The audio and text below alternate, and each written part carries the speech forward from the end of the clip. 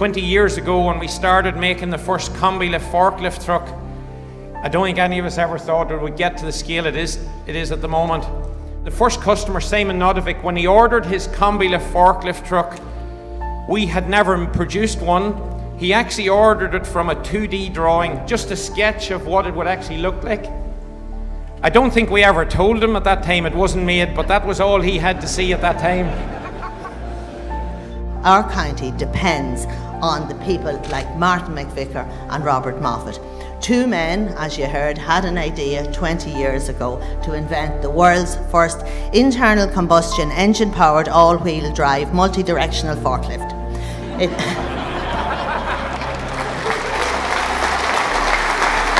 And I have to say, I'm delighted to, be standing here today on home soil for the official opening of Combilift's new global headquarters and manufacturing uh, facility.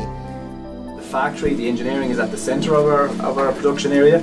You know, typically 300 metres to the left or to the right, this is our uh, assembly lines and this is our welding and cutting areas.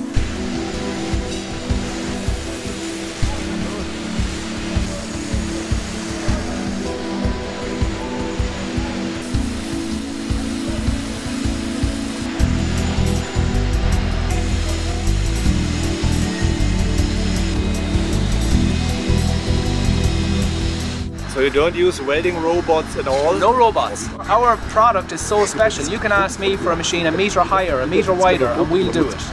And that's very unique. You'll see it across all our forklift range as well. Longer platforms, wider platforms, taller mass. We don't limit ourselves by, by something we consider a small change. Other manufacturers would struggle to deal with it because their plants are so automated.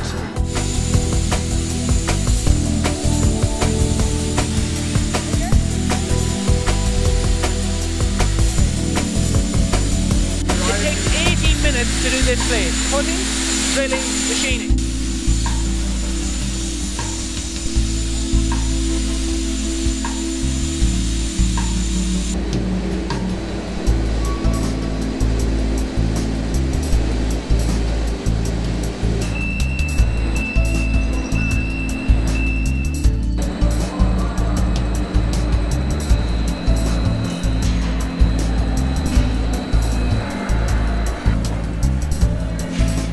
The lines in our new factory are 90 metres in length.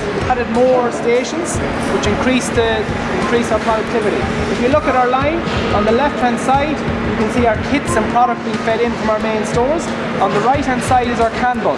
CAN bus is our replenished stock, our nuts, bolts, our hoses, all our standard parts are constantly there for the, for the, for the people in assembly. On the left hand side you can see the parts being fed in, the motors, the wheels, the axles, the parts that are added to each machine. Each machine has a unique identity. Serial number is added from once it's placed as an order. The machine will not go onto the assembly line unless all the parts are in stock.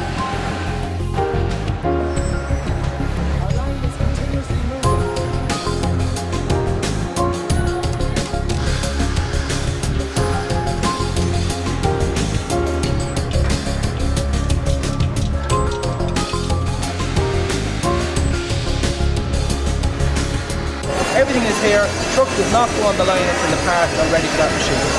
When you see the, the engine, the engine comes on a special frame, a special uh, trolley. On that trolley you can see the bell housings, the engine, the fans, the pumps, everything that's needed to build that engine for that customer. Everything is just in time. The material arrives here just in time for this man to assemble and the engines are shoved over to the assembly line just in time for the next truck.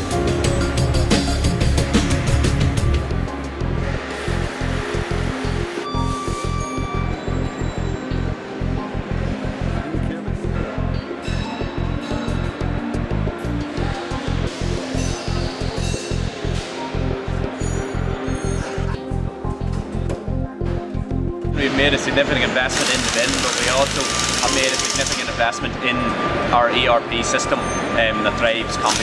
Um, so in each work centre, in the, the well bay, the paint lines, production, all the sub-assembly lines in main stores, each work centre has a tablet. So on this tablet it tells employee what they have to do and when they have to have it done by and what all requires for that truck.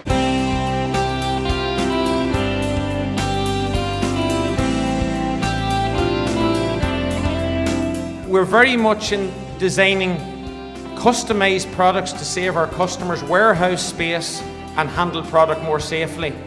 And if you look at many of the new products that, that we are producing today, a lot of that innovation has not came directly from our engineers or us in our, in our own factory. It has came from feedback from our customers as to what they see, their handling problems, their challenges, and that gives us opportunity to develop product for the future.